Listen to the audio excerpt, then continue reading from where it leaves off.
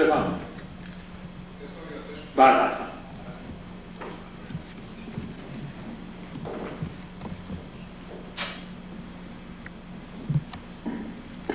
که بعدا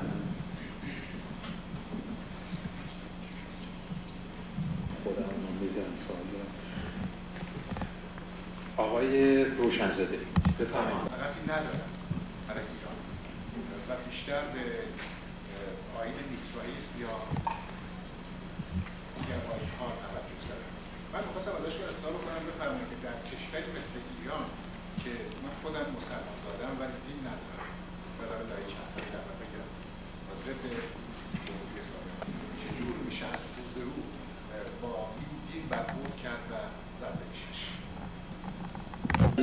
که خیلی به شما همه ما علاقمند هستیم و افتخار من میشه وجود همه شما عزیزان هست.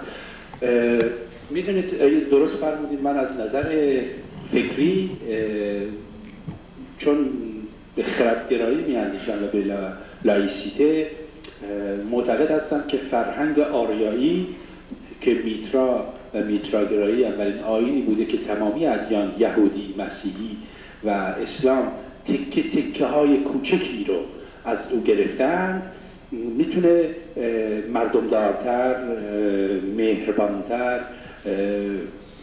و صلحآمیزتر باشه. اما هدف من این نیست که در ایران یک جنگ مذهبی راه بندازیم. همچنان که کردم من با جنگ مذهبی که امروز می‌خوان راه بندازم بین شیعه و سنی در ایران و یهودی و مسلمان در لس آنجلس هم مخالفم.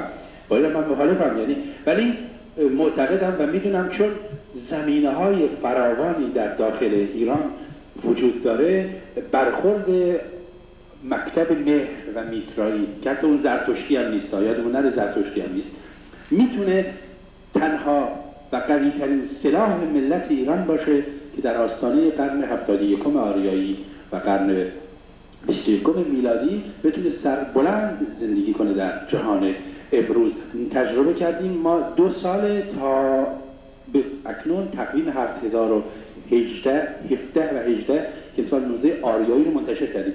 این تقویم جناب روشنزاده در ایران جمهوری اسلامی من میگم چون رود یکی از شجاعت های ما این باید باشه همچنان که شجاع و گستاخ هستیم که جانمان را در برابر گلوله می‌بریم که اگر دشمن هم ضعف هایی داره و یا کرنش هایی می‌کنه اعلام کنیم. این تقویم امروز در تمامی ایران تو جیبا میره و رژیم یکی دو بار برخورد کرده بعدا آزاده.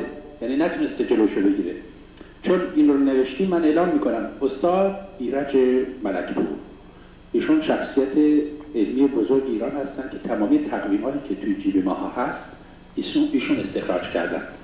ایشون چندی پیش محبت کرده بودن برای من یک جزوه فرستاده بودن و بعد تلفنی جام صحبت گفتن چون تا سال 5000 یعنی همین تقویم 7000 ساله رو کامپیوتریزه کردن. چون می‌دونید باید تو کامپیوتر که ما اگر می‌خوایم ببینیم یک اتفاقی در 4000 سال پیش افتاده در رابطه با تقویم خودمون که 7000 ساله آریایی است کی بوده؟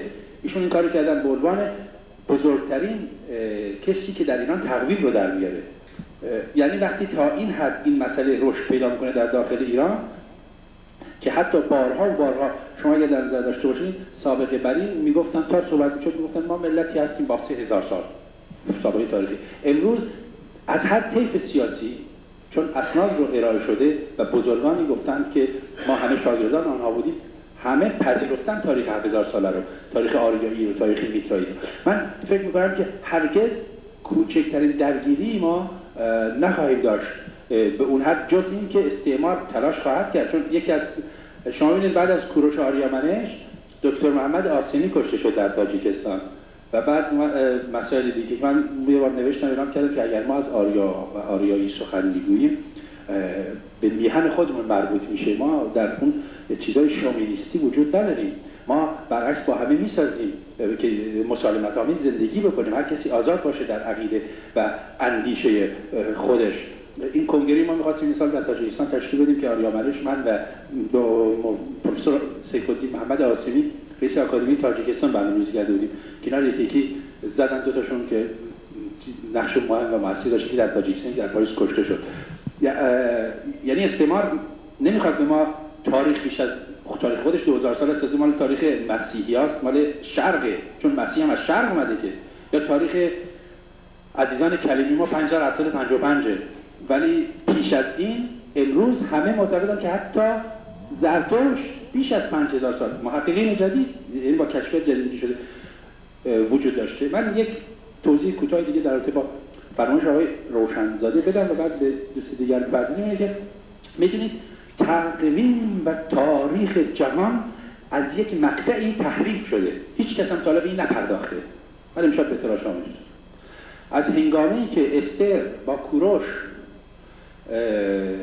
اون جریان حقوق بشر مطرح میشه. تاریخ آریایی ایرانی از بین میره بر اساس نوشته تورات. تورات می‌تونید بهش مراجعه بکنیم. به خاطر اینکه کسانی که دشمن کلیمیا بودن قتل عام میشن. از جمله هامان نخست وزیر کوروشه بعد از اونجا تنها سند تاریخی زندگی که میمونه توراته و تمامی تاریخ مستند به اون میشه. ولی قبل از اونم تاریخی بوده. ولی ولی در حصر حجوم از بین رفته و بعد اون تاریخ رشد کرده. نمونه واضحش اینه که تاریخ هموطنان عزیز کلیمی ما و تمام کلیمیان جهان که امروز از 5775 یعنی تولد می‌دونیم کی؟ آدم. خب آدم که پیداست که اگه آدم بشری که داره وجود داره که میلیاردها سال زندگی می‌کرده. ولی همون آدمی که ریشه اولیه ادیان ابراهیمی است. خب از همین آدم اگه بپرسین آقا آدم چطور شد به صحرای سینا تبعید شد؟ می‌گویند که از باغ عدن تبعید شد از فردوس. کلمه فردوس از ایرانی به تورات هم رفته وجود داره. خب فردوس می‌دونین کجا بوده؟ ایران بوده. این افسانه افسانه‌ای که من نوشتم جزوه بسیار کوچک نمایشنامه است. همینو میگه. یعنی آدم و هوا آدم یه عنصر بوده که از ایران تبعید میشه. از ایران که امروز گریشمن خود امریکایی ها همه معتقدن که ایران 7000 سال تاریخ داره. وقتی که دکتر کوروش منش ترور شد یک نکته دیگه هم بگم بدونیم برای بعد از 25 سال این واشنگتن نه نیویورک تایمز بود نیویورک تایمز. یک خبری که باید 25 سال پیش می‌داد اون موقع داد. و بعدم خبر رو برای من فکس کردن تو پاریس. چون یادتونه چه جنجالی را انداختیم به خاطر ترور نازنین. که گفتن در ایران خمره هایی کشف شده که نشون میده ایران از 7000 سال پیش شراب می‌زده یادتونه همه. خب این حالا بریم تحقیق کنیم ببینید آقا خبری که نیویورک تایمز یه هفته بعد ترور آریامنش پخش کرد کی بوده؟ مال که مال 25 سال پیش بوده. این خمره 25 سال پیش کشف شده. اینا مطمئن باشین که از اون 25 سال یا 10 سال پیش 5 سال پیش می‌دونستن که این خمره ها کشف شده مال 7000 سال پیش نگه داشتن تا اون موقع بگن که چون یک آریایی کشته شده.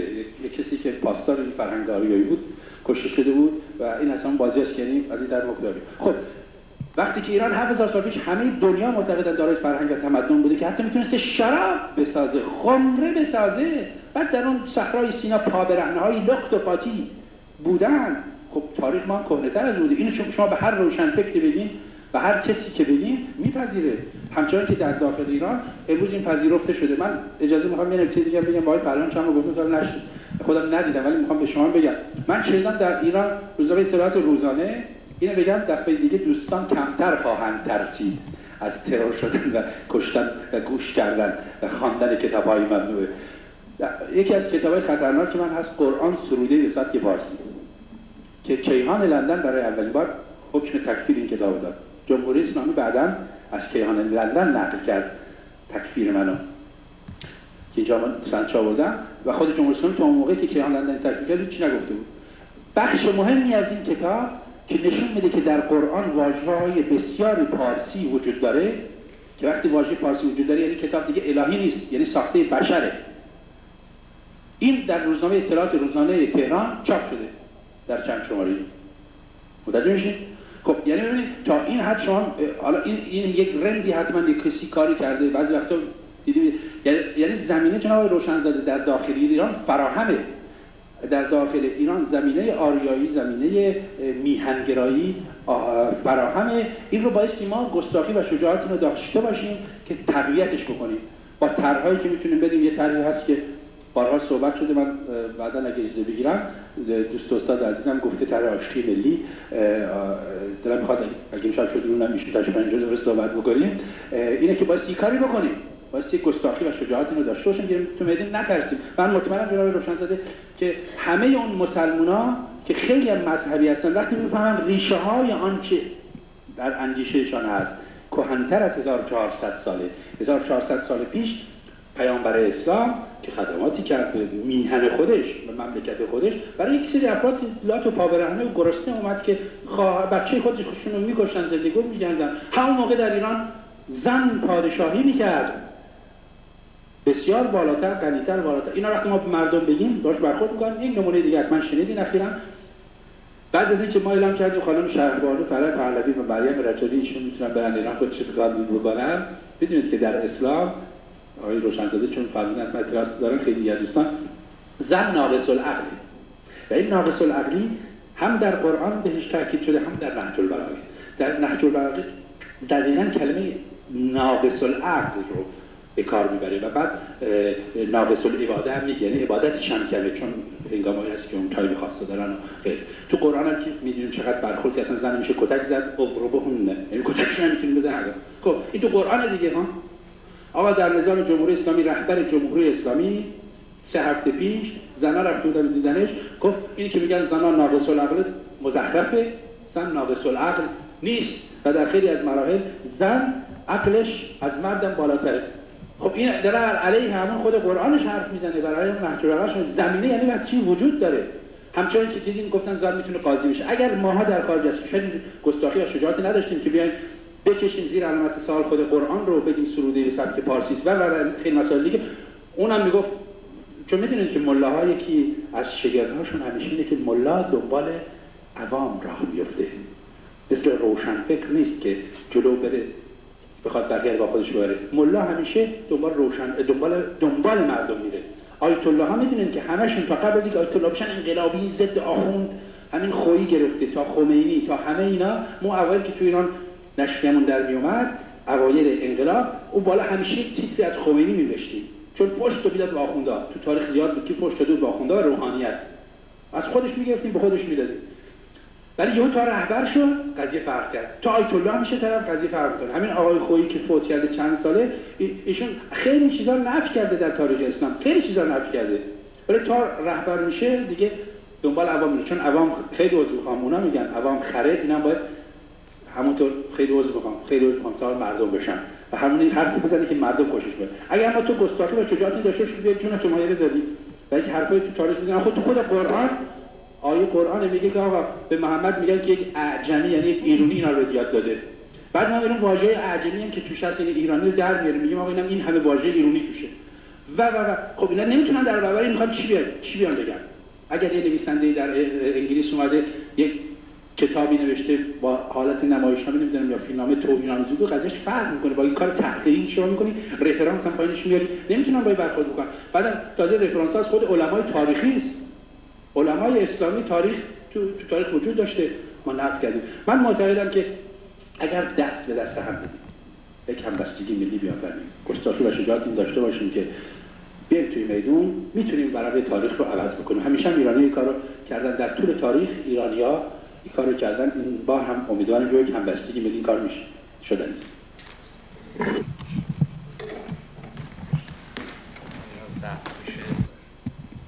شما ما رو ترسیدید قربان دیگه باید از فردا صبح بریم قایم بشیم از این ترور سیاسی.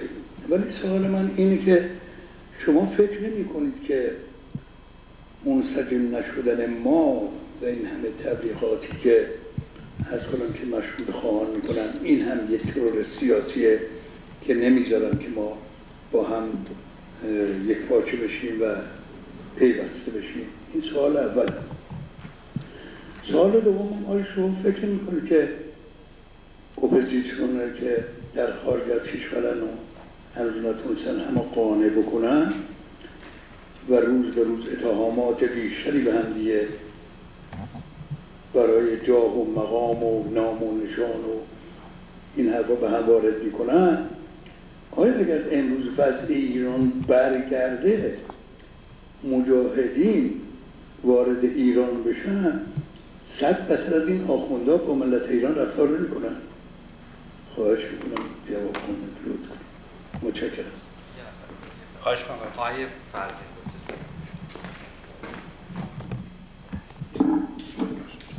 آب بسیار ما لذت بردیم. از بحث های مختلفی که کردیم. منتاش من فکر می‌کنم امشب این بحث راجع به استعمار و تروریسم فکر می‌کنم یه نوع سیستماتیک. شما یه سری تجزیه تحلیل می‌دید و ما هم گوش می‌کنیم و سوال می‌کنیم. منتاش بحثای جالبی کردید ولی اونی که من فکر می‌کردم نبودش. به هر طرف من یک بحثی رو نکته که در بحثای شما دیدم متاسفانه این بودش که اطلاعاتی بود من یه مثلا اطلاعات گرفتم. خیلی خوبه. منتش نکته رو که دیدم دوباره این توری توته. دوباره من این توری توته رو دیدم از برای مدتی. ما تونستیم این چندین سال بحث کنیم که توری توته رو باید کنار گذاشت. یه مقدار اشکال در مسائل فرهنگی خود ما هست. این آخوندان بخشی از خود ما هستن بخشی از همون ملت هستن. مال اونجا هستن از بیرون هم نیم و اینها هم امروز به قدرت رسیدن. بحثشون بوده ما همه در انقلاب شرکت کردیم و بنده هم اعتقاد به اون انقلاب داشتن و مبارزه ما بر علیه استبداد. من یک خطی دیدم که یه دفعه رضا شاه و ارزم حضور دکتر مصدق و اینا با همدیگه در یک خط قرار گرفتن. رضا شاه بزرگترین اشکال تاریخیش این بودی که امروز این بلایی که ما داریم دامنگیرمون شد اگر قاجار بر ما حکومت کرد من یه بار دیگه همینه گفتم نتیجهش مشروطیت بود و شیخ فضلالله رو به دار کشید نتیجه سلسله پهلوی چی بود؟ آخون بود. شیخ فضلالله نوری رو علت اصلی و اساسی کار رضا یعنی دستاوردهای مشروطه رو زیر پا گذاشتن بود. قوانین اساسی رو زیر پا گذاشتن بود. این که دانشگاهی ساخت درش شک نکنید. امروز هم یه از ایران میان میگن آقا اینا دهات ها رو آباد کردن. هر چی دهاتی لوله کشی کردن گاز کشی کردن. تمام اون استراکچر مهمه. استراکچر کجاست در جایی که فضای باز و آزاد و اندیشه سیاسی نباشه و نظرات مختلف نباشه یه دفعه محمد رضا شاه بره بگه آقا من فکر می‌کنم این صد اینجوری بسازیم و یه آدم مهندسی جرئت نکنه بگه آقا نه صد اینجوری ساخته. شما که نباید در همه چی هزار نظر بکنید مملکت به اینجا کشیده. از هم حضورتون که این توری توته خیلی توری بدیست فاجعه انگیزه. یعنی هر کاری ما امروز هم اینجا بکنیم وابسته میشه سر ما یه جا در یعنی میشه با همون تجزیه تحلیل شما این رو گفتش که هر اپوزیسیون وجود داشته باشه سرش به یه جا بسته است.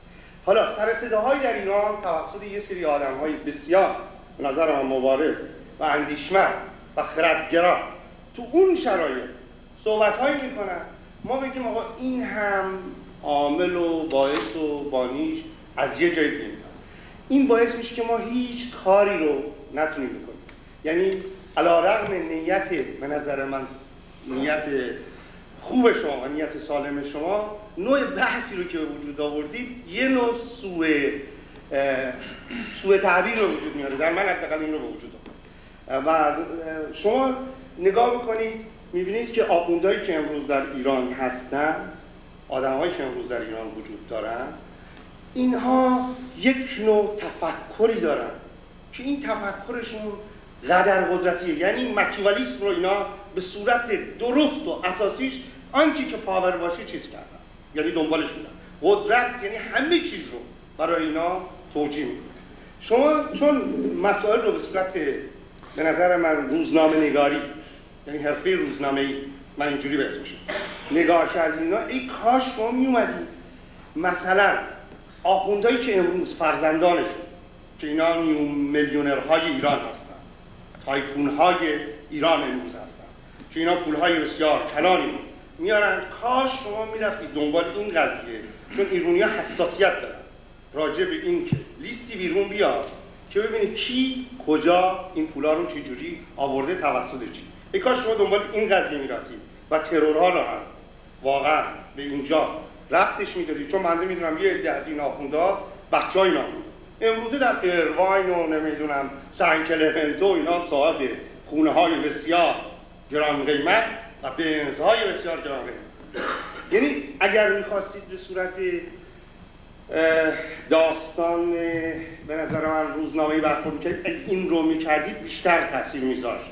اگر می‌خواستید به صورت استعمار و نوع جدید استعمار نگاهش و تروریسم نگاهش که اقتصاد مثلا اقتصاد همیشه بوده. اقتصاد امروز انتگره شده است. یعنی جدا شده نیست از این در زمان محمد رضا شاه هم بوده در زمان رضا شاه هم چشم من تمام اون رو می‌تونستید یه تجزیه تحلیل واقعا عمیق و چیز می‌کردید و ارتباط جدید این تروریسم رو با نشون و هر طرف من معتقدم این دنبال تئوری توطعه نریم. چون دوباره ما رو به یه جایی میندازه که آقا هر کاری می‌کنیم نمی‌خواستم این لغت بگم سرنخش انگلیسیه سرنخش آمریکاییه سرنخش سیونیسم بین المللیه همچین چیزی به نظر من نیست. در ایران انقلابی شده. ممکنه اینجا و اونجا این آخوند اون آخوند وابستگی داشت. و من یه چیز رو امروز اعلام می‌کنم که به نظر من رژیم جمهوری اسلامی از نظر سیاسی برای اولین بار در تاریخ ایران مستقل ترین رژیمی است که وجود داره. ولی آیا رژیم جمهوری اسلامی در ایران تنها رژیمی است که خدمت کرده؟ به هیچ وقت عقب افتاده ترین نوعش هست اقتصاد ما رو داغون کرده زندگی ما رو به هم ریخته. مملکتی که میتونستش.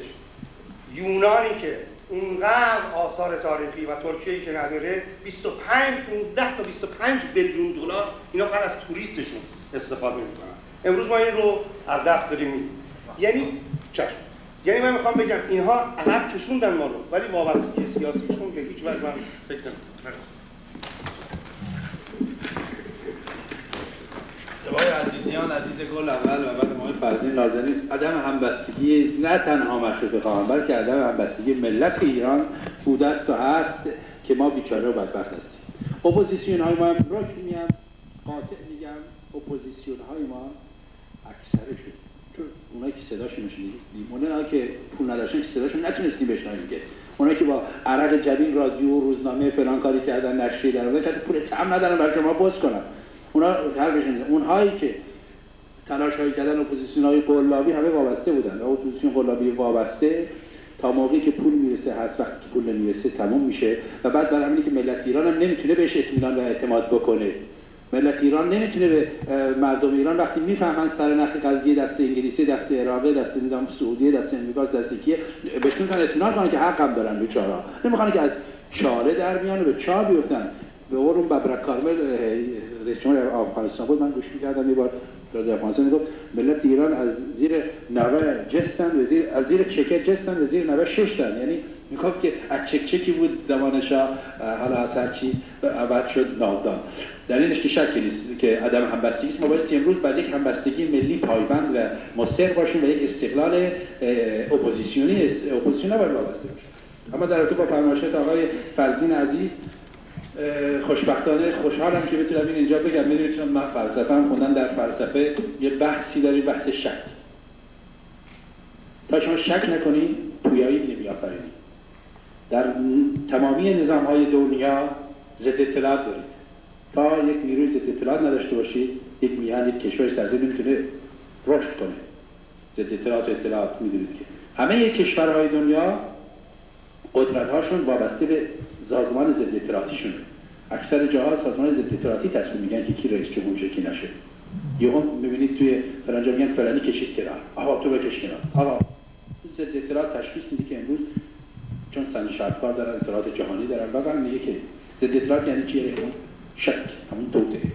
ما به مبارز ما به عنوان میهن پرست اگر این ضد اطلاعات در ذهنمون نباشه این ضد توته من مخالفم که. اون نه باید بگیم توته هست. وقتی توته هست تو به هر کی میاد جلوت شک می‌کنی اول. در همچنان که در فلسفه میگیم. به هر چیزی اول شک می‌کنی حتی به وجود خدا. بعد بعد از شکه که به یقین می‌رسی. برای هر کسی می‌خواد وارد اول بایستی تا به هر کم می‌خواد اول بسی تحتیش کامل بکنیمش. یه توته رو باید همیشه در نظر بگیریم که هست. بعد وقت که عکسش ثابت شد میذاریمش کنار. وگرنه اگه ما به توته باور نداشته باشیم که توته میاد رو ما سوار میشه. توته همون شک در فلسفه است همون ضد اطلاعات و اطلاعات در همه نظام ها و حکومت است. باید بهش باورش اما نباید بیماری بشه. معتقدم با فرمایش شما. بعضی وقتا بیماری میشه که ما از خونمون میترسیم بیایم بیرون میترسیم کنیم یا خودشون آوردن خودشون بردن خودشون میارن خودشون می‌برن. من در با مصدق عرض کردم که مصدق میگه بعضی هستن وابسته هستن ولی وقتی که به قدرت می‌رسن موازنه منفی رو دنبال می‌کنن.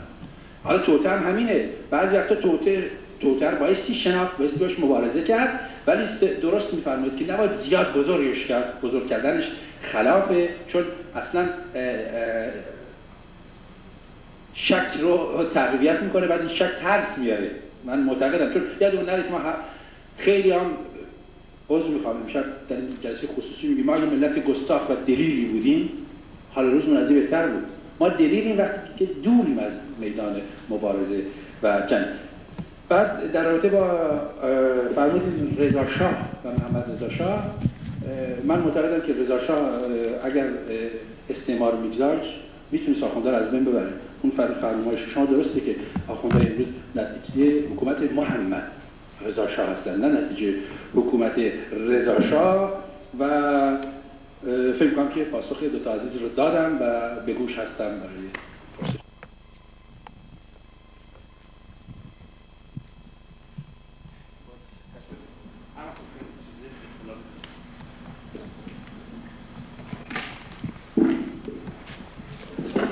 خواهش می‌کنم.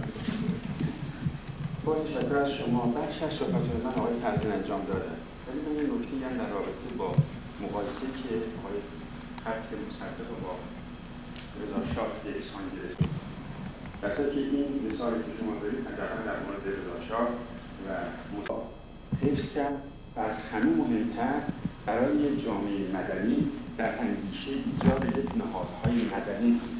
زیرا معتقد بود که این نهادهای مدنی که می‌تونه از دموکراسی و منافع ملی دفاع کنه و تمام همینش بر این اساس بودش که این نهادها رو به وجود بیاره و همین اساس بود که به سندیکاها حتی به احزاب مخالف اینقدر میدان داد برای مبارزه ولی درست رضا شاه عکسی می‌کرد. و طبیعتا هم باید پایان اونچنانی در انتظارش می بود این مقایسه رو واقعا من نفهمیدم که چرا اصولا مطرح شد. این به هیچ وجه با اصل واقعیت تطبیق نمی‌کنه. توی عدد بسیار ساده پولی که به اصطلاح جمهوری اسلامی به دست میاره از این راه در رابطه با فروش حجم نفتی که میفروشه به هیچ وجه این عدد رو نشون نمیده. ممکن است قیمت بین المللی احیانا درصد بسیار کمی ارزان بفروشه ولی اصولا اقتصادش اجازه نمیده که امروز نفت رو 9 دلار بفروشه بحرانش بسیار شدیدتر میشه و حجم بدهی خارجیش اضافه میشه. ولی در تمام آماری که امروز هست تمام بدهی خارجیش پرداخت شده حتی پرداخت اضافی داره با کل بحرانی هم که هنوز در داخل کشور هنوز وجود داره. از طرف دیگر اطلاعاتی که ما میدیم باید اطلاعات باید کاملا دقیق علمی و از منابع موثق باشه. اینو من نمی‌دونم این آمار شما این عدد رو از همون به عنوان مبارزین قلابی ازش نام بردیم در واقعیت اینطور نیست. اگر یک سازمانی احیانا از طریق یک کمک خارجی به کار مشغول میشه با حذف کمک خارجی از صحنه خارج میشه این به مبارزات مردم ایران چه در درون کشور چه در خارج کشور که بدون ایستادگی مبارزه داره ادامه میدن و شکی هم در پیروزی مردم ایران نخواهد بود این خط بطلان میشه به این رو برداری کردن کاملا نداره و در اصولا در اندیشه این که ما وابستگی همبستگی نوعی ریختن تمام نیروها رو همدیگر داشته باشیم اصولا در این مقطع از تاریخ مبارزات جهانی اصلا یک امر غلطه ما می‌تونیم یک مقوله مشخص مثلا حقوق بشر همه سازمان ها رو در یک مقاله مشترک بکنیم در یک سازمان کاملا دموکراتیک. این می‌تونیم خواستارش چون این مقوله مشخصی است و اونهایی که معتقد به دموکراسی واقعی هستن در یک سازمان دموکراتیک می‌تونن چا کنن؟ نوع عمل خودشون نشون بدن. ولی این نوع که ما این انتظار داشته باشیم من نمی‌تونم مثلا توی مقوله دستیسه بذارم که ما از مردم چیزی رو بخواهیم که هرگز نشده است. و طبیعتا وقتی این کار به نتیجه نمی‌رسه خب ببندیم که این سازمان ها این خصوصیات رو دارن وابسته هستن پولشون نرسیده پس از صحنه سیاسی سرزمین اون به خارج از کشور خارج میشه. به هیچ وجه چشم. به هیچ وجه اینطور نیستش بلکه ما باید برنامه مشخصی که توانایی جمع کردن تمام نیروهای مبارزه خارج از کشور رو عملا داشته باشه و پیشنهاد کنیم. مثلا من پیشنهادم اینه که ما در یک مسئله حقوق بشر در یک سازمان 100 درصد دموکراتیک می‌تونیم با هم کار کنیم. ولی من به هیچ وجه مطمئن باید مثلا سلطنت طلب هرگز حاضر به تعداد سیاسی تحت هیچ شرایطی نیست. چرا؟ من مبارزه کردم او رو از قدرت پایین آوردم و در تمام لحظات کوشش می‌کنن که او به قدرت نرسید. زیرا تاریخ سرمایه من نشون داده که رسیدن به قدرت اون گروه همون برنامه است امروز من در سر من خواهم داشت. ولی اگر مدعی است که مدافع حقوق بشر هستش در اون برنامه حاضر باشم در غیر صورت به هیچ من تامجی گرامیت فقط یارین هستم. و همطور که شما فرمودین دو دسته هستن یه دی که میمونن وابسته و یه دی سوا میشن یا میان طرف ملت. و همونطوری که من فهمیدم در جنگ جهانی دوم موقع که می‌گفتن که نم یه پلی بوده می‌گفتن تمام پرها رو خراب می‌کردن می‌رفتن یا اینکه رضا شاه از ایران می‌رفت. و اون تصمیم گرفت که از ایران بره و اون چیزی که درست کرده برای مدت ها از بین نره. و فکر می‌کنم با این آقایونی که الان صحبت کردن واقعا یه تناقض خیلی زیادی رو نشون دادن که اگه ما در این مقطع زمانی نتونیم این چیزهایی که گذشته اتفاق افتاده مثلا برای بین احزاب مختلف مثلا یکیش همونطوری که گفت فهمیدیم مصدق یکیش رضا شاه بوده که اینا در دو تا قطب مختلف ممکن بودن ولی هر دو برای ایران کار می‌کرد و حالا اگه ما نتونیم اینا رو در یه سازمان قرار بدیم که همه برای ایران کار می‌کردن. چطور ما می‌تونیم از حالا با هم دیگه اینقدر متحد بشیم بتونیم یه آینده دیگه رو با هم پیش ببریم؟ و همونطوری گفتم این برای, برای اولین بار بود که من شنیدم که نفر از شاه صحبت کرد و این برای من خیلی تازگی داشت و همونطور که شنیدیم آقایون اومدن اینجا خورده چیز کردن اینا. ولی من فکر می‌کنم ما باید گذشته رو فراموش بکنیم تا بتونیم یه آینده بهتری داشته باشیم. و اون پیشنهاد می‌کردیم که پیشنهاد که شما کردیم که میبایست ما به ایران بریم و واقعا از خودمون بذاریم. این خیلی جلیل خوب بود.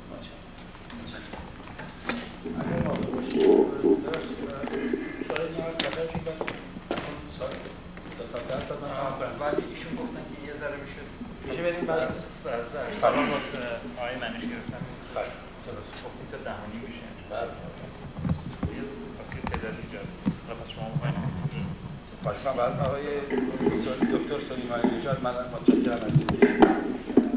نظرات خودشون رو مطرح کردن من حرف همیشه هستم. من می‌دونم چی میگم. این که من برای اولین بار مطرح کردم که رضا شاه رو با مصدق مطرح کردم تجربه است که سالها کردم تاریخی است که سالها مطالعه کردم و یک نظریه نوین و جدیدی بود. با افتخارم پاشوار نیستم. و بحثای دیگه باشه در خدمت های دکتر سلیمان نژاد دیگران به طور مفصل با هم صحبت می‌کنیم. رضا شاه خدمات بسیاری به ملت ایران و به تاریخ آریایی و به فرهنگ کهن ایران کرده که من برگ برگش رو سالیان سال مطالعه کردم. من خودم یادتون نره من خودم ضد سلطنت بودم. من خودم مخالف رژیم سلطنتی بودم. ولی امروز بعد از سالها تحقیق و مطالعه و پژوهش به این نتیجه رسیدم که رضا شاه یک شخصیت بزرگی نیست ما بایستی از او همواره قدردانی بکنیم. یک عنصر ضد استعماری بوده بایستی ازش قدردانی بکنیم. همچنین که از مصدق عزیز. در این زمینه من می‌دونم. این سخن سخن نوی نیست. تا کنون هیچ کس نگفته. گستاخی شجاعت می‌خواد و دانش تا مطالعه. من مطالعه کردم. برگ برگ تاریخ رضا شاه من مطالعه کردم. و پی بردم که مرد بزرگی. بایستی. ما اگر ما خدمتگزار ران خودمون رو فراموش بکنیم حالا چه مصدق باشه چه فراهانی چه رضا همینی که هستیم خواهیم بود. ما بایستی بیاموزیم که خدمتکارانمون رو قدر بدانیم. حتی اگر یک دو تا خطا کردن ببینید اینا میگذرن ازش. خطاها رو میگذرن. خواستین یه روز باتون صحبت می‌کنیم اینایی که به نام پیامبر در تاریخ ماندن. لوط سلیمان نوح آدم. چه خطاهایی کردن؟ و اینها بخشیدنشون فوتشون کردن. وقت شما میاد خدمتگزار خودتون لطفال کنید. نباید این کار بکنید. رضا شاه ایران خدمت کرد. عنصر با افتخاری بود برای ملت ما. اما نفت 9 دلار من نگفتم همین نفت ایران 9 دلاره. بخشی از نفت ایران 9 دلار فروش میشه. اون اوایل انقلاب قرار داده که انگلیس امضا شد. شورای انقلاب امضا کرد و به تصویب خمینی رسید. حتی یه بارم رفسنجانی گاف کرد. بازرگانم گاف کرد. این اومد تو تلویزیونشون گفت. قرارداد 99 ساله که با انگلیس ایران داره که تا 99 سال نمی‌دونم چند سالش مونده چون از اون موقع بر اساس قرارداد استعماری که با انگلیس فقط ایران داره نفت بهش 9 دلار باید بفروشه. اما همه نفت ایران 9 دلار فروش نمیشه. درسته؟ من با این نظر موافقم. عرض کردم بخشی از نفت ایران 9 دلار به فروش می‌رسه. اما در رابطه با اپوزیسیون داخلی و خارجی فرمایش شما کاملا درسته من باهاش کاملا موافق هستم. برای همین هم هست که میگم دکان‌های اپوزیسیون در خارج الحمدلله که شده بسته بشه. این اپوزیسیون بایستی در ایران به وجود بیاد. اپوزیسیون اگه می‌خواد کارایی داشته باشه در داخل ایران.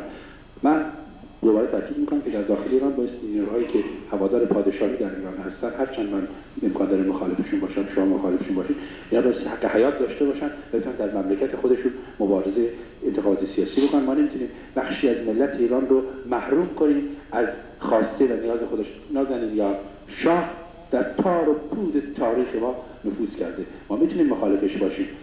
ولی بایستی مبارزه بکنیم از جونمون مایه بذاریم که اون بتونه حرفش رو در داخل ایران بزنه. نیروهای هوادار پادشاهی. در اینجا من حرف میزن نمی‌خوام که آقای رضای پهلوی سو استفاده بکنه چون ایشون اصلا لیاقت و شایستگی رو نداشت به عنوان وارث رضا یک نازنین اینجاست آقای سالار آریا نواری من ازشون گوش کردم که ایشون مکالمه ای با ایشون داشت. خیلی شجاعانه و گستاخانه رو در روی ایشون وایستاده بود. دیگران بایستی بیاموزن و انتقاد بکنن صحبت بکنن. اینه که پس نتیجه می‌گیریم که من معتقد هستم که آزادی یعنی تو یعنی دیگری. نه من. اگه من آزادی یعنی من که منم دیکتاتورم که. اگه آزادی یعنی من یعنی من دیکتاتور. اگه ما اومدیم گفتیم نفراه نخامنی دیکتاتوری است. این با دیکتاتوری هیچ فرقی نداره. بخش عظیمی از ملت ایران امکان داره که از یک طیف سیاسی خوششون بیاد. ما اجازه نداریم بیایم اینا رو یا بخش خیلی کمی از هفتاد میلیون ایرانی اگر حتی ده هزار نفر در اندیشه باور دارن بایستی آزاد باشن. و ما مبارزه می‌کنیم. من شخصا میگم از خودم من مبارزه می‌کنم که اون حق بیان داشته باشه. چون برای من به گفته همون هایی که در طول تاریخ فرهنگ ما بوده اومدن فرانسوی ها برخورد کردن حالا میگن ولتر گفت برای من آزادی نه یعنی آزادی برای من برای تو برای دیگری. آزادی یعنی تحمل عقیده مخالف. من معتقدم برای همبستگی آقای دکتر سلیمانی نژاد درست میفرمه چون اگه با نام حقوق بشر جنجان را بندازیم احتمالا در سطح جهانی هوادار زیادی داریم. ولی حقوق بشر که در دنیا داره صحبت می‌کنیم حقوق بشر حقوق بشر خودش نازنین یار. حقوق بشر خود همون کارترها و تراست و کمپانی و بیزنس ها. من تو که بشر هستیم که روز روز داریم قربانی همین همین که.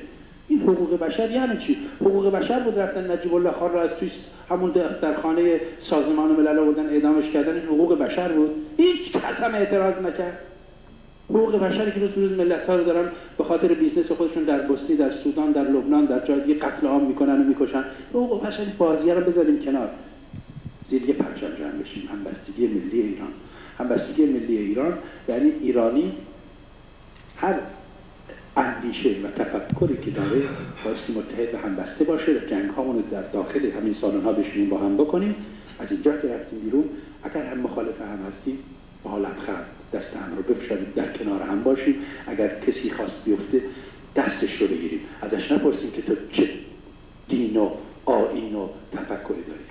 اگه این کار رو بکنیم ما به بقیه چه آقای نعمت عزیزم که به حال من فکر کنم پرسش خاصی نبود خوشحالم که پذیرفتیم و بپذیریم که مصدق و بارس شاه توی یک کرسی بذاریم. تو تاریخ هم زیاد از اینا داشتیم. خب خیلی خوبه داریم درشون بیاریم و بهشون افتخار بکنیم آیه تهران.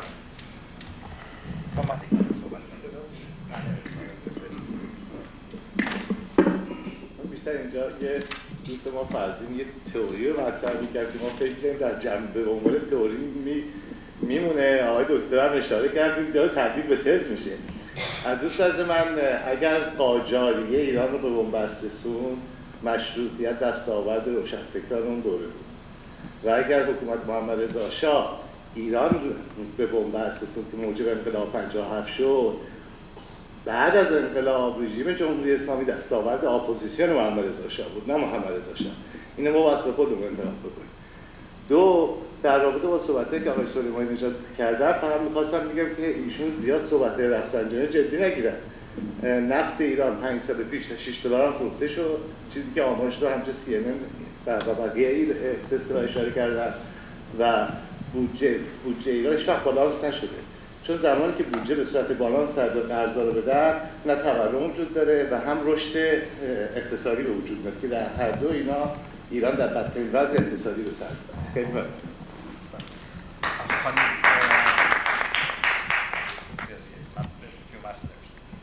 تشکر. شما صحبتهایی که کردین یه مقداری من زد و نقیص درش دیدم برای همین ازتون سوالی بکنم. تو چیز و فرمودین که ما می‌خوایم دین رو از حکومت جدا بکنیم و فکر می‌کنم همه ما موافق باشیم. بعد صحبت می‌کنیم راجع به آریایی بودن و نژاد آریا و همه چه فرقی هست بین که ما نژاد رو برتر بکنیم یا دین رو برتر بکنیم؟ به هر صورت در کشور ما کسانی هستن که نژاد آریان نبودن و ایرانی هستن. کشور ما درست شده از نژادهای مختلف، زبانهای مختلف، قبیله‌های مختلف اه، بر نگردیم به گذشته بر نگردیم ممکنه ایران به توسط آریایی ها درست شده ولی ایران امروز ایران آریایی کامل نیست. اگر ما بخوایم دوباره همین برنامه ها را ایجاد بکنیم درست مذهب اسلام رو ممکنه بگیم که با مملکت ما و با اداره مملکت یکی قاطی نکنیم. ولی اگر که ما دوباره بیایم آریا رو برداریم و شروع بکنیم راجع به آریایی و ایران آریایی و این حرفا. همون کار سابق رو کردیم بنابراین خواستم اینو بگم که بهتره که زیاد پافشاری نکنیم درش ما هم به اونچه که هستیم افتخار می‌کنیم ولی همه ما ایرانی هستیم. بهتر به کسی که ایران رو دوست داره بیشتر اهمیت بدیم تا از کجا اومدیم.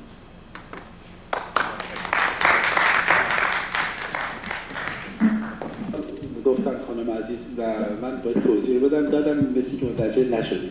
من وقتی که از آریا صحبت می‌کنم از نژاد آریایی نمیگم نژاد آریایی ملت آریایی. بعد برای ملت من یک توضیح دارم. همین یکی از نوشتهای من از هویت ملی.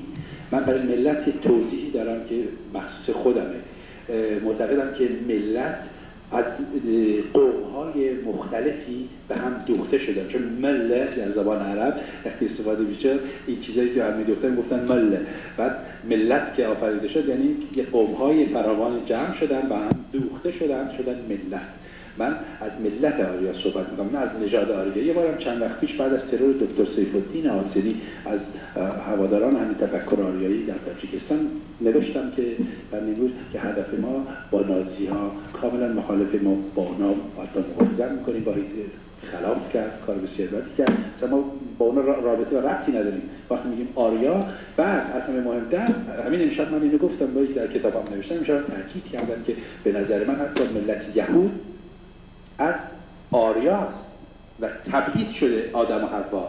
من نوشتم اینو دوباره میگم این آدم و حوا وقتی که از فردوس از باغ عدن تبعید میشن یعنی از شوش مرکز فرماندهی و تمدن اون زمان اینا تبعید میشن به صحرای سینا. اینا آریایی خود آدم. خلافی می‌کنه تبعیدش می‌کنه. این دادنش بیرون. اونطور نیست که از آسمون اومد حبود کرد به مزخرفاتی که میگن. نه این از خود ایران خارج شده رفته اونجا. بعد اون اونجا رفته قوم نوینی را آفریده که ریشه آریایی داره. یعنی ما بعدم تمامی این ملتی که در ایران هست کرد و ترک و بلوچ و گیلک و خراسان همه اینها ملت آریا هستند و ایران آریا از یک واژه یک جایگاه میاد. و خب حالا یه بارم یکی اروپا هم میگن ما هم آریایی هستیم ف- فرق نداره. چون از نظر نژادی نمی‌خوایم اینجا صحبت کنیم اصلا کار غلطی است. یادمون نره که در این منطقه که سرخپوستا بودن در اینجا در اون منطقه آریایی بودن همه آریایی هستن. ولی این جنگ های نژادی رو بعدا اگر کسانی به وجود آوردن ما من مخالف اونها هستم رد می‌کنم اون قضايا رو و به ویژه تاکید کردم که حتی کلمی ها از نژاد آریایی هستن. یعنی ما با هم موافقیم. در فوق نظر هستیم و ولی سخن هم بایستی بهتر بفهم آقای محمد داور بعدش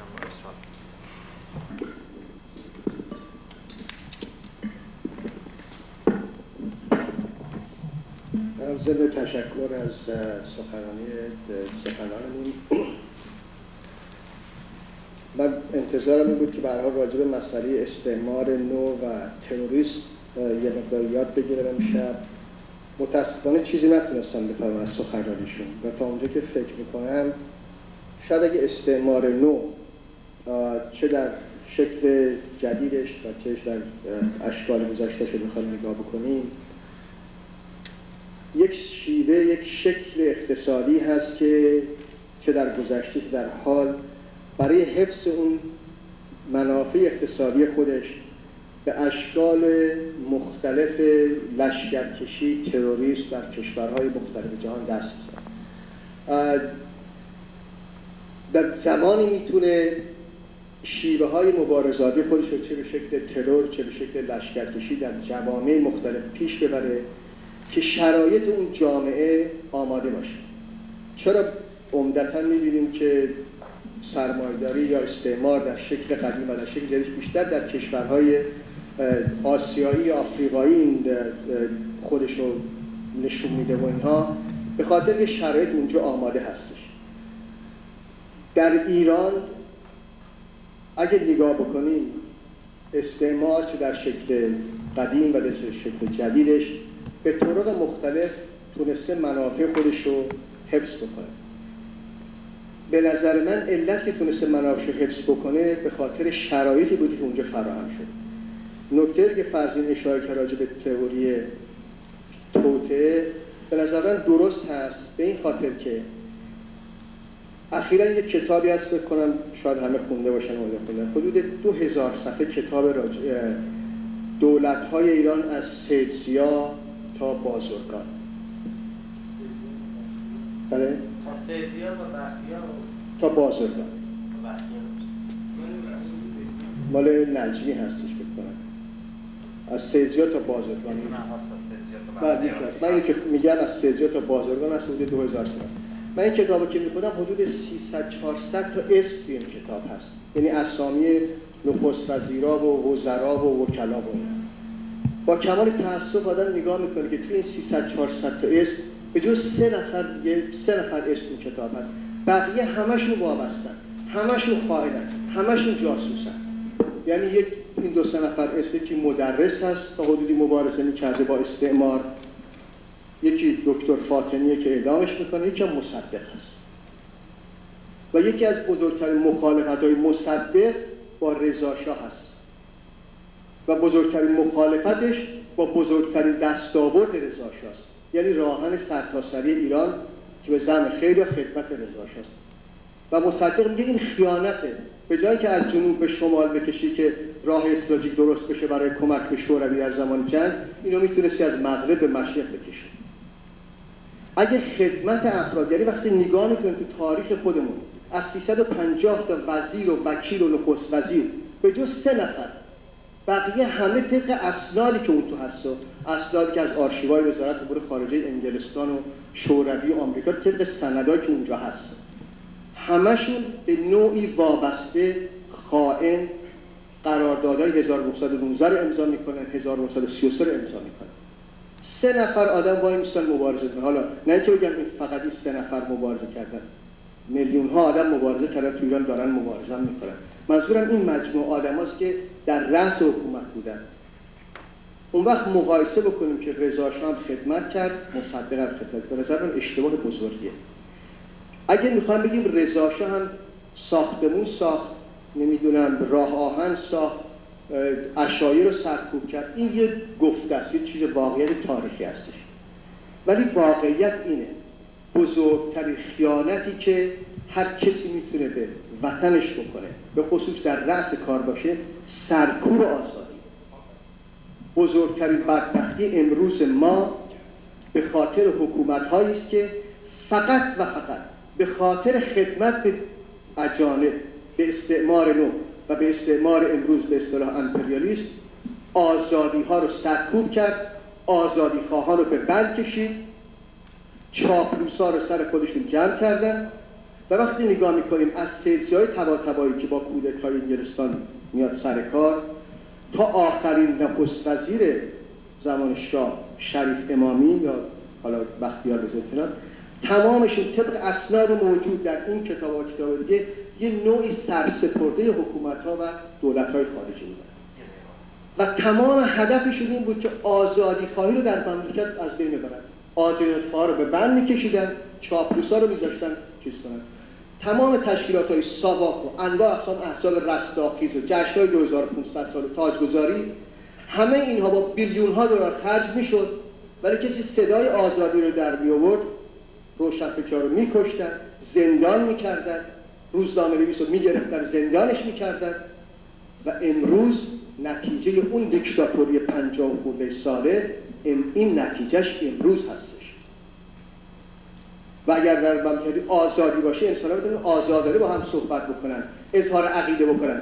نه چاپلوس میشن نه دروغگو میشن نه خیانت میشن با افتخار هم زندگی می‌کنن. و مردم ایران همواره مبارزه در تاریخ نگاه بکنین چند تا کشور مثال بزنید که مثل مردم ایران دائم در حال مبارزه مشروطه داشتیم ملی های صنعت نفت داشتیم 15 خرداد داشتیم بهمن 57 داشتیم هنوز هم داریم مبارزه می‌کنن. و این ملت ملت مبارزیه. و اونا که در رأس کار هستن اونان که اشکال دارن.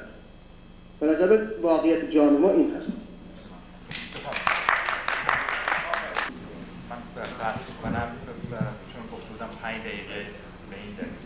خیلی متشکریم و خوش آمدین آقای دکتر عباسی. 98 درصد انگیزه آمدن من در اینجا به خاطر دیدار شما. و با آشنایی که من از بنیانگذاران این کانون سخن دارند شما تعجبی نکنید که اینا همیشه به پادشاهان حمله می‌کنن و همیشه از مصدقات دفاع می‌کنن. بنیانگذارانشون سلطنت طلبشون اولا رضا شاه خیلی بالاتر از دکتر مصدق. من با هر دوشون کار کردم. دکتر مصدق تمام مدتی که نخست وزیرش از زیر پتو اعمال قدرت کرد من سرباز زیر برق سرنیزه من خوابیده بود و کریم پور شیرازی ها که شاگرد دبیرستان نظام همکلاس من بود و دیس نهارخوری رو دزدیده بود و توی سینش گذاشته بود لباس کمربند بسته بود. و گرفتن ازش وا کردن شلاقشان دادن اخراجش کردن شد هوادار مسلم نخست وزیری که دکتر حقوق و باید دفاع از حق می‌کرد رزمارها رو کشتن یک نخست وزیر رو با سلام و سلوات قاتلش از زندان نخست وزیری که به همه اینطور ثابت شده. خواهش همه صحبت کردن ایشون هم حقیقتشون رو صحبت تقاضا می‌کنم. دکتر مصدقی که پدر بزرگش داییش، عموش همه نفر پادشاه بودن که من اگر یه جلسه به من وقت بدن در یه روزی بیام اینجا با مدارک همه رو ثابت کنم بگم و در هنگامی که والی خراسان بود برید سابقهش بخونید تعصب یک طرفه نداشته باشید. سفیر انگلیس نامش هست که از این دفاع کرده که بذارید ابقا بشه در والی فارس. حرف نخست آقایونی که میفرمایند که رضا محمد رضا شاه سبب شد که مملکت اینطور شد کنفدراسیون هایی که در سراسر دنیا داشتن گوجه فرنگی پرتاب می‌کردن به دستور کارتل های نفتی مانوف می‌دادن تاکتیکشون رو پیاده می‌کردن. ما بزرگترین ضربت رو از کنفدراسیون کنفدراسیون دانشجویان خوردیم. و الان هم نیستن کجا؟ همه معمولیتشون انجام شد. آقای آقای در حزب آدمیت همون کارهایی که همین تاغوتی رو همین لغت مذهب و همین کارهایی که تعصبات مذهبی ایجاد شد از همون زمان شد یعنی کتابش فرق بر وقت و اما در مورد استقلال و آزادی و آسایش که آقایون طرفدار این هستن که با پادشاه با سلطنت طلبان نمی‌تونن سازش داشته باشن اینها همطور که آقای دکتر فرمودن در یک کشوری که 75 درصد از اگه اقراق نگیم 90 درصد ما مال تاریخمون هست ما اگه شما از حقوق بشر دارید صحبت می‌کنید حقوق بشر که اول پادشاهان ایران آوردن. دیکته کردن حقوق بشر در زمان کوروش 2600 سال قبل که الان هم لوحش رو سازمان ملل گذاشتن ما حقوق بشر به دنیا آموختیم. چطور سرفرازی های تاریخ ما رو همه رو بزنیم تو گارمج خواسته های کنفدراسیون و چپی ها و اونایی که سمپاتی های دیگانه دارن. با همه تاریخمون با پادشاهان همه سرفرازی همون با پادشاهان آغاز شده. و اگر یه اشتباهی در شما در همین آمریکا ببینید چه اشتباهاتی میشه. گناه رضا این بود که وطن پرست بود. گناه محمد شاه این بود که نمی‌خواست خون ریخته بشه. باور بفرمایید با یک گردان تانک همه طرفداران خامنه‌ای رو با اسفالت خیابان میشون همسر. ولی نخواستن در گوادالو با کسی نیت صحبت بکنه. آقایون کنفدراسیون که همه اطلاعات کاملی دارن در گوادالو یه سالیم داشتن قبلش پنج کشور دنیا سرانشون نشستن تصمیم گرفتن برای بردن متشکرم.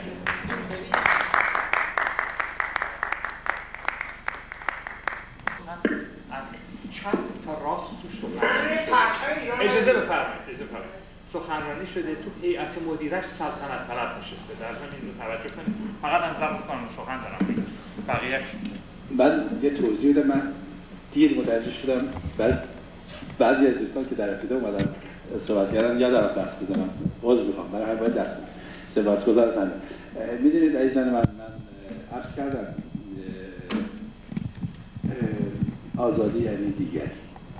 ما هر کسی نسبت به داده ها و اطلاعاتی که داره و تجربیاتی که داره یه چیزایی در مغزش هست و از اون دفاع می‌کنه.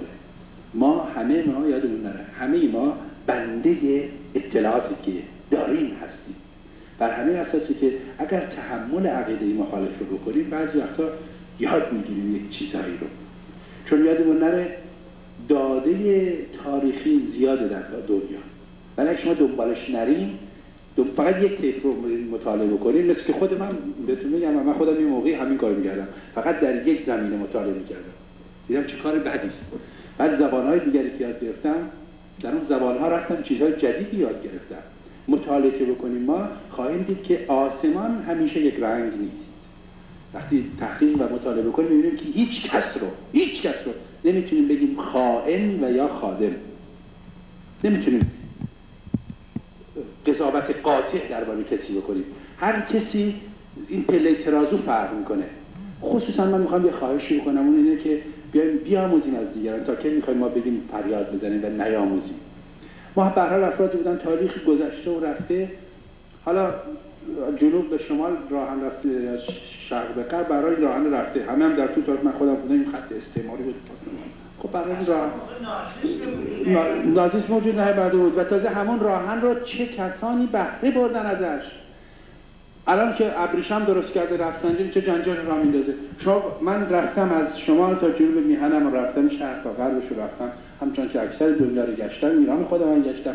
شما نمی‌دونه دو راهن چه خدمتی به ملت ایران کرد. حالا استعبا همه شما صداقت دارین یعنی همه شما عزیزانی که اینجا هستید ما هممون صادقیم و هممون میهن پرستیم ولی این میهن پرستی ما نسبت به داده است که گرفتیم نسبت به مطالعاتی است که کردیم. برای ما یک چیز سری چیزا خوندن این موقع ممنوع بوده. من می‌دونم خیلی از دوستان اهل کنفدراسیون هم امشب اینجا. یا مثلا از مایز هم دوست عزیز خودم ماشامنش. بچه های کنفدراسیون ولی شاید ندونه ماشامنش و نمی‌دونه الان که می‌دونه چون دیگران. وقتی که بعضی تظاهراتی در دنیا صورت می‌گیره علیه یک جریانات اینا سازمان یافته است. متوجه میشین؟ سازمان یافته است. اما پایینیا که نمی‌دونن که.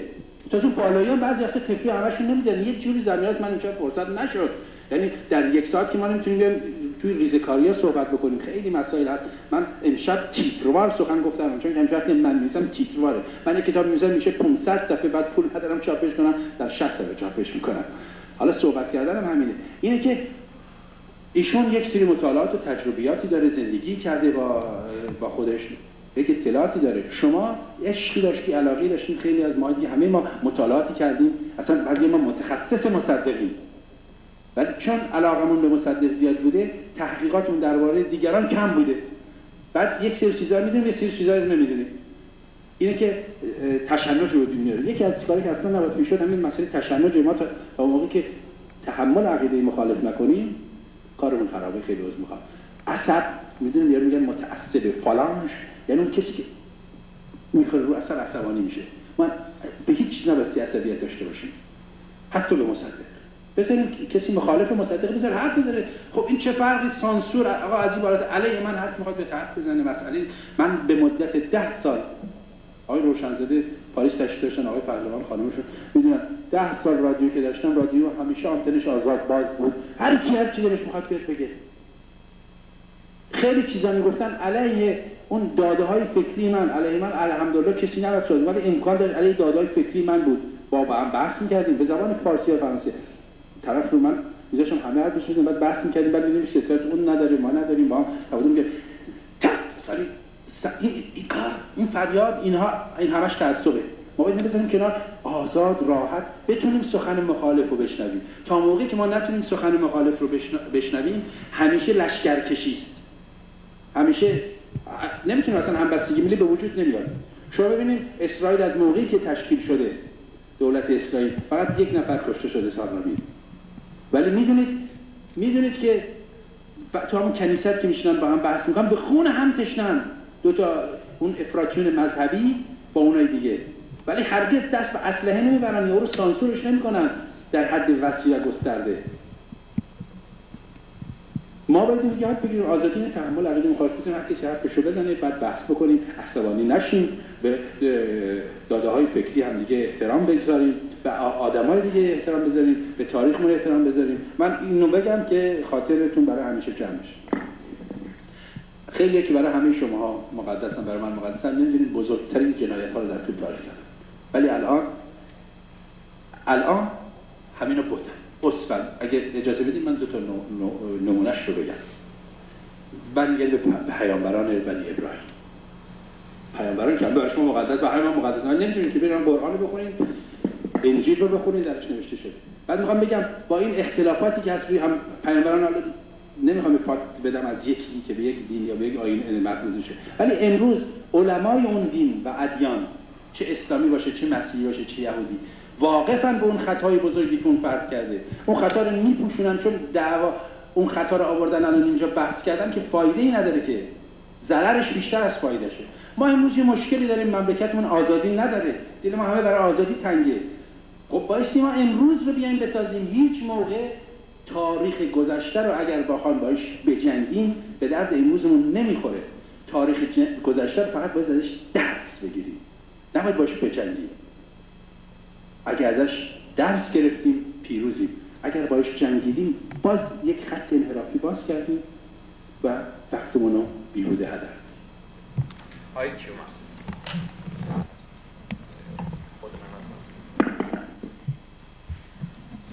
خیلی ممنون از آقای عباسی. من صحبتم رو راجع به نوران نجیب ما مدت نداریم. آره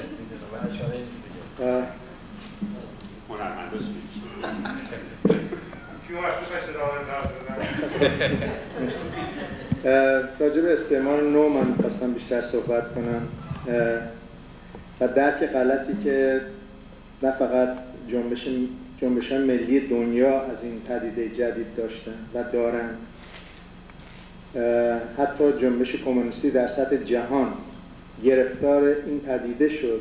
چرا یه دوگانگی درش بود؟ وقتی سرمایهداری نوین جوامع پیرامونی وقتی می‌خواست رشد کنه الگوی خودش رو قرد گذاشته برای همین می‌خواست یک سری کارهایی رو انجام بده. از قبیل رشد دانشگاه رشد کارخانه ها ایجاد راه راه دولت. این خواست به اصطلاح جنبش سیاسی ایران بورژوازی ملی و وطنی هر کشور پیرامونی بود. امپریالیسم جهانی بعد از اینکه توی شرایط خاصی قرار می‌گیره لحاظ اقتصادی و قادر نیست فقط با صدور کالا با صدور کنسول و سربازهای خودش به شیوه استعمار کهن حکمرانی بکنه این بار یک دولبه و دو جانبه مبارزش رو شروع می‌کنه. یک مبارزه میلیون کشورهای پیرامونی رو خونسا بکنه. برای همین یک شبه مدرنیست رو می‌کنه. از یک طرف از یک طرف لحاظ قدرت اقتصادی باید صدور سرمایه کنه. در کنار صدور کالا. برای همین از درون اون اقوام و اون کشورهای جهان سوم که شما نمی‌خوان اسمشون رو ببرین یا کشورهای پیرامونی افرادی رو انتخاب می‌کنن که این سیاست رو اجرا کنن. حالا ببینیم توی اون شرایط در جهان چه اتفاقی میفته یه کشوری به وجود میاد به نام کشور شوروی. امپریالیسم انگلیس و آمریکا متفقا به این نتیجه می‌رسن که این بار ما قادر نیستیم با سیاست هندوستان با کشورهای پیرامونی مبارزه کنیم بریم توشون. باید از درون خودشون دیگه نمی‌تونیم.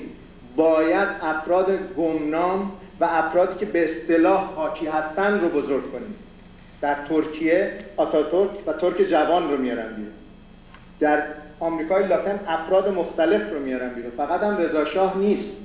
فکر نکنید این تافته جدا بافته است و مال ماست. این سیاست جهانی بوده برای محاصره شوروی از یک طرف و نفوذشون تو جهان سوم از طرف دیگه. رضا کاری رو می‌کنه که اگر مصدق میومد اون کار رو می‌کرد. منتها دو تا بحث مختلف. یک شبه مدرنیسم هست. یکی مدرنیسم واقعی بر مبنای شرایط خاص زمان و مکان اون کشور.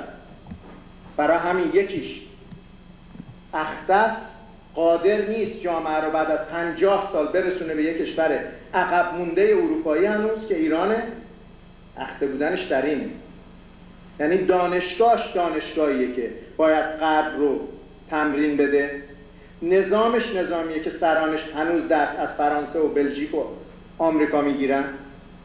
وزارتخونه هاش وزارتخونه که طرحش از غرب گرفته شده برای همین هیچ خون داخلی اون کشور درش نیست. برای همین مردم ایران نه فقط رهبری به بزرگی لنین نه درست بودن غلط بودنش یه بحث دیگه است. حداقل ملتشو نجات داد تا یه مدتی. اون تو کومینتر اشتباه می‌کنه میگه رضا رهبر ملی کشورشه. چرا؟ چون کارهایی رو که بناس بورژوازی ملی کشور بده این به صورت ماکت و تصنعی میاره میذارتش اونجا. اگر این قهرمان ملی جامعه است خودش به بزرگترین مالک زمین تبدیل نمیشه بعد از دو سال سر کار اومدن. می‌بینیم اشکال کار چیه و کمبود کارمون چیه؟ برای همینم ما جهان سومی ها مجبوریم مسائل رو سیاسفید ببینیم. یه پدیده ای هم هست حتی فقط هم خاکستری نیست. خاکستری تاریک در خاکستری روشنگتر هم هست. یک هر کسی تو این جوامع میاد یه سری کارا می‌کنه. اگر مقایسه ای بخوان انجام بدین این آخوندها بیشتر از تمام دوران پهلوی کار کردن توی آگاهی زنان در حال حاضر توی ایران هیچ موقع تو تاریخ ایران سابقه نداشت رشد سیاسی مردم ایران هیچگاه حتی دوران 22 حتی دوران مصدق به این بالایی نبوده. رشد کتب در داخل ایران. مسائل سیاسی هیچگاه به این سطح نبوده. پس این دولت مثبت بریم. تحویل بدیم خودمون دیگه. نه اینجوری نیست. این خواسته های مردم که مجبور می‌کنن یه سری چیزا تو جامعه انجام بشه. بدبختی ما اینه. همیشه پیشوا طلب بودیم. هر چیزی که تو جامعه انجام شده رو گذاشتیم گفتیم این شاه کرده این امام کرده این پیشوا کرده. میبخش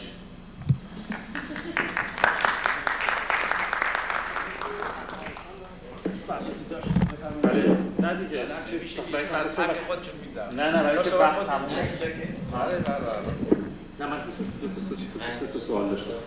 من الان به عنوان رئیس شهری صحبت نمی‌کنم. اسمم نوشتم اینجا و وقتمو می‌گیرم من یکی دو مرتبه می‌خواستم این بحث آریایی رو چون شما صحبت کردین خانم من توضیح دادن من نوشته بودم اینجا. یه ذره بیشتر چیزش کنیم داخلش بشیم که من متوجه بشم. فکر می‌کنم که از نظر نژادی اصلا به هیچ عنوان دیگه ما اون آریایی که صحبتش میشه هستیم.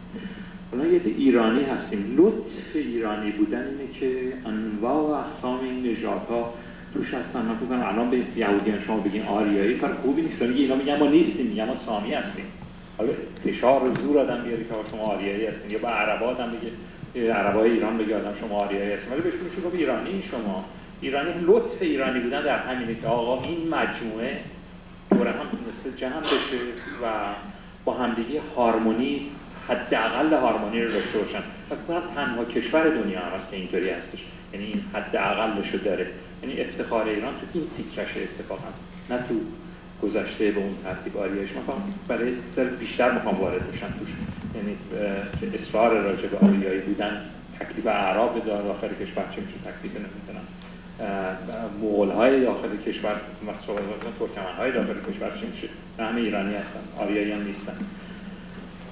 سوال دوم این بود که راجع به داخل و خارج خارج کشور مبارزه رو من جغرافیایی نمیدونمش به اون ترتیب که اگر حتما باید در درون کشور باشه تا انجام بشه. من مثال های زیادی هست تو دنیا که جنبش هایی از خارج کشور شروع شده و به داخل کشور رفت. تا داستان خمینی و غیره. یعنی پایش در درون کشور هست. من همون اهمیت رو به خارج کشور میدم همون اهمیت رو در داخل کشور میدم کوچکترین فرقی نداره. جغرافیایی نیست که اگر در درون باشه درسته اگر در خارج باشه غلطه. یا اگر در درون نباشه در خارج به هیچ ما نباید به وجود بیاد. می‌کنه. اگر جریانات رابط به همه و همون ارزش ها رو دارن. این اشکالی بود که انداختن قبلا که آقا خارجی ها بدن. هنوز هم آدمایی که از ایران میان حساسیت ها توشون موجوده که آقا به ما چیکار کنید برای ما نسخه ننویسید غیره از این صحبت ها. همین بحث ها به این ترتیب این اشکالات وجود میاد سوال سوم من من اصلا دو مرتبه نمی‌خوام اون بحث رو باز بکنم بحث اینکه چی بوده به چه ترتیب بوده. ولی توی جریانات تاریخیمون که ما نگاه بکنیم می‌بینیم که یکی ظلم کرده یکی ظلم نکرده. من دارم اینطوری نگاه می‌کنم. یا امام حسین بده یا یزید بده. هم امام حسین هم یزید نمی‌تونه با هم دیگه باشه. یکی یکی رو کشته یکی یکی رو این برده. هم شاه هم مصدق غلطه. بحث من اصلا بحثی نمی‌خوام بکنم کدومشون درسته کدومشون غلطه. ولی یکی قاتل یکی مقتوله تو تاریخ. ببین اینا در کنار هم به اون ترتیب جریانی رو نبودن. من میگم این رو این فاصله رو آدم باید بذاره. و آخرین نکته که دارم میگم اینه که بسیار هم استفاده کردم از صحبتاتون. بسیار زیاد. و اینو بگم. باز من اینو به عنوان کانون سخن دارم میگم. کانون سخن انواع و اقسام سخنرانا داشته. من جمله آقای آریا سالان سخنرانان کانون سخن بودن. نتیجتا اینه که بازم بوده. شما سخنرانان آینده هم که اگه نگاه بکنید من چند تو داستان به اون تحقیق نمی‌بینم. مرگری یا میترائیسم یکیشون در رابطه با پژوهش در تاریخ آذربایجان. این که اختلاف رو از این ماجرا خیلی زیاده. ولی اینکه این داره صحبت می‌کنه تو هم اون ور قضیه رو داره صحبت می‌کنه. نه داستان به استقلال آذربایجان یا بحث‌هایی در رابطه با آذربایجان که موجود است. یعنی می‌خوام بگم همه نوع جریان تو کانون سخن صحبت شده. لطف کانون سخن هم در همینه که انواع اقسام. و در هیئت مدیریت بنده و شهران با هم دیگه داریم از کار می‌کنیم. دو تفکر مختلف. ولی نزد با نظم و نزدیکی داریم با هم دیگه کار می‌کنیم. این این کانون سخن این کم لطفی رو فقط خیلی معذرت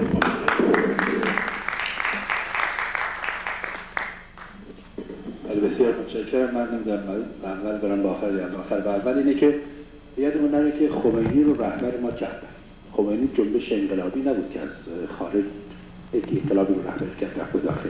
که من خودم فرزند انقلابم می‌تونم به شما بگم که در ایران ملتی مبارزه کرد بعد خمینی رو برای ما ساختن.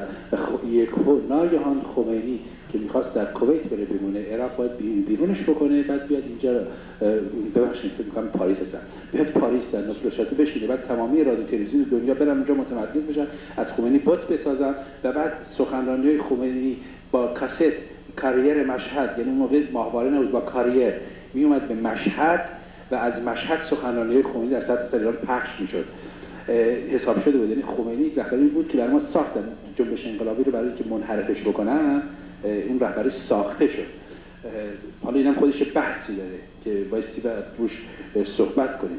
اما در رابطه با مسئله آریایی که دوست عزیزمون هم بهش اشاره کردن یادمون نره من عرض کردم یکی از جزوهای کوچیک من در مورد هویت ملی و همین تاریخ و فرهنگ تمدن آریایی است.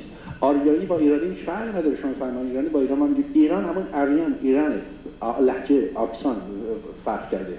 و در همین چارچوب آریایی ما نه دین داریم و نه یک تفکر خاصی. مهر هست. مهربانی است. دوست داشتن عشق نجات نیست. نجات نیست. در این شکی نیست. ما در ایران هم عرب نداریم. عربیزه شدیم ما. یادتون نره عزیزان من. عرب احترام می‌دونیم من زبان عربی که فرمودیم. بلدم. در میان اونها بودم. خیلی مهمان نواز دوست خوب انسان مثل همه انسان های دیگه. ولی یادمون نره عرب در شبه جزیره کوچک عربستان سعودی فقط بوده. جای دیگه که عربی نبوده. اینا بعد از اسلام حمله کردن. همزمان که حمله می‌کردن دین جدید میوردن زبان مردم رو عوض می‌کردن. اگر ما در خوزستان عربی صحبت می‌کنیم ملت خوزستان عرب نیستن. اگر در مصر مصری ها عربی صحبت می‌کنن اونها فراعنه هستن. عرب نیستن که آقای روشنزاده مصر تشریف داشتن. تو مصر وقتی مردم عربی حرف می‌زنن با عربی که خلیج فارس هستن فرق می‌کنه.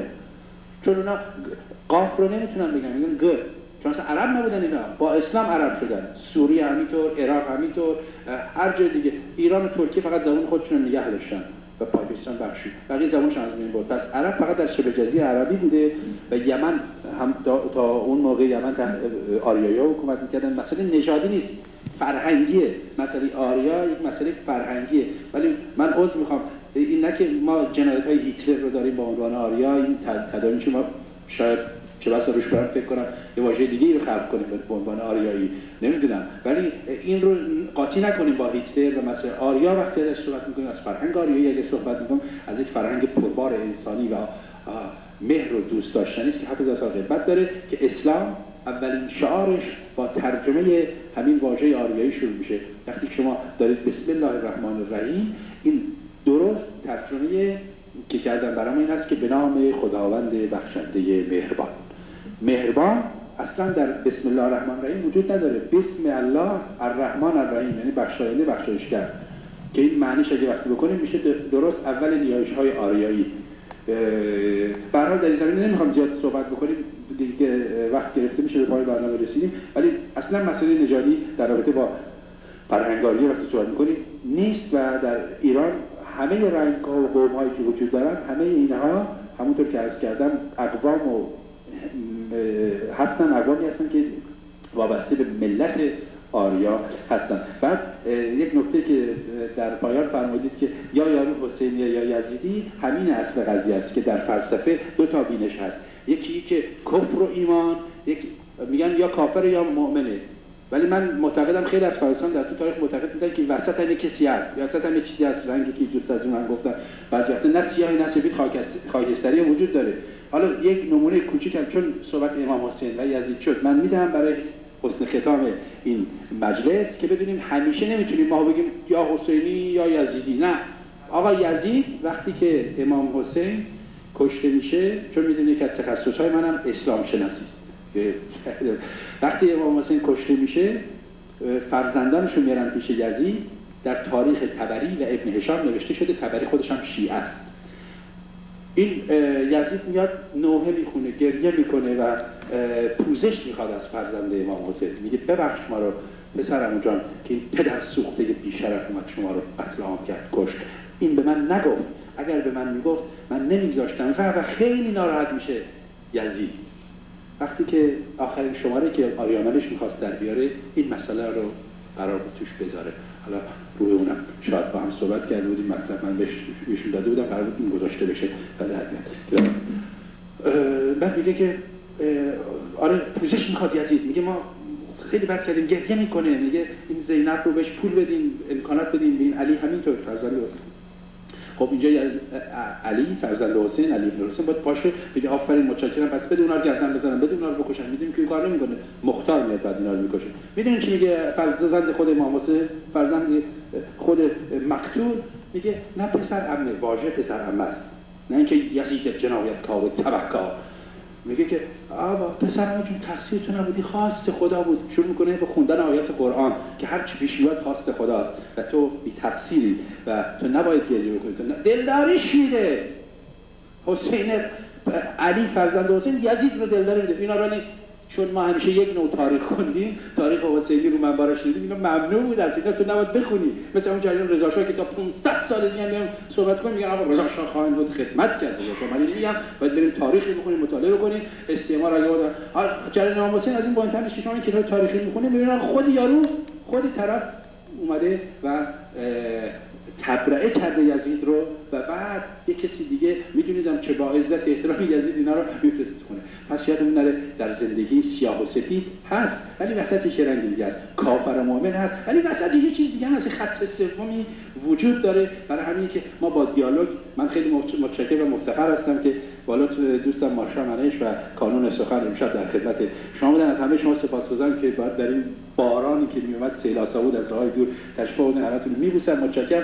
و بیاموزیم که آزادی یعنی دیگری تحمل عقیده مخالف گوش کنیم و اطلاعات خودمون رو تقویت کنیم مطالعات خودمون رو گسترده کنیم. در یک زمینه فقط تجربهش نکنیم. همتون میبوسم. شب برای خوش. درود بر